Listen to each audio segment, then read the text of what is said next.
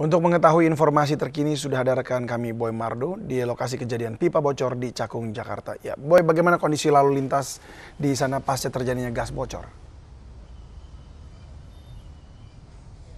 Ya baik David, pasca bocornya pipa gas milik PGN di Cakung Celincing, Jakarta Timur memang saat ini untuk arus lalu lintas tidak lagi terganggu akibat bocornya pipa gas yang saat ini sudah diperbaiki oleh pihak perusahaan gas negara. Dan memang lihat sendiri, David, di belakang saya ini sudah tidak lagi terlihat adanya pengerjaan dari para pekerja maupun dari pihak PGN ataupun dari pihak konstruksi pengerjaan jalan tol di Jalan Raya Bekasi ini. Dan sejak sore tadi, pengerjaan juga sudah dilakukan ataupun diberhentikan sementara dikarenakan adanya garis polisi yang masih menempel di sekitaran lokasi saat ini David. Hal itu pun dikarenakan masih adanya penyelidikan dari pihak kepolisian apakah pengerjaan ini ada kelalaian dari pihak petugas konstruksi pengerjaan jalan tol ataupun tidak. Dan hingga saat ini juga untuk pengaliran gas sendiri belum teralirkan kepada masyarakat dikarenakan uh, belum sempurnanya untuk perbaikan yang terjadi kebocoran gas pipa gas milik perusahaan gas negara di kawasan uh, Jakarta Timur ini saat ini David.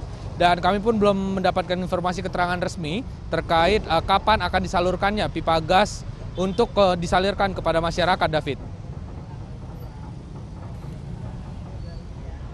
Baik, terima kasih Boy untuk informasinya. Selamat malam.